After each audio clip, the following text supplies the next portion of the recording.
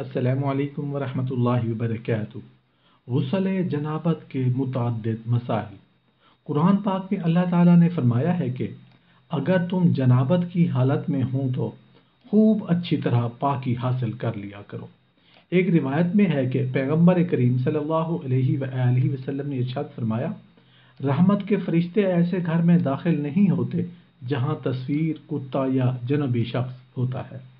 जनबी से मुराद वो शख्स है जो बिला उज़र गसल में इतनी ताखीर करे कि नमाज़ कज़ा हो जाए, बनी बिना गसल जनाबत का ख़ास एहतमाम करना हर मुसलमान पर फ़र्ज़ है और बराबर नापाक रहना बहुत बड़ी महरूमी और बदनसीबी की बात है।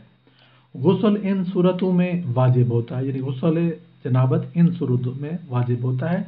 जनाबत इंजाल या एहतलाम और इल्तका ख़तानीन से भी इसी के अहकाम में आता है।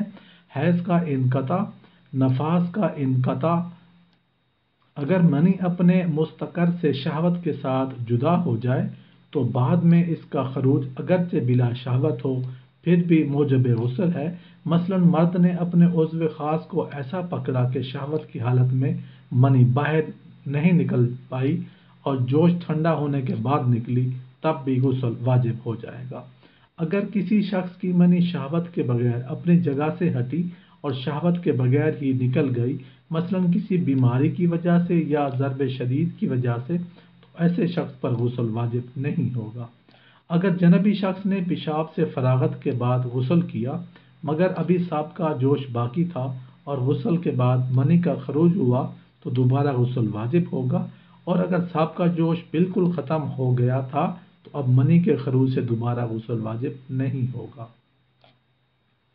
लवातत, यानी मर्द के मर्द के साथ हम जिनसी करने से अगर उज्व मखसूस की सिपारी छुप जाए तो फ़ाइल और मफूल दोनों पर गसल वाजिब है, चाहे अनजाल हो या ना हो।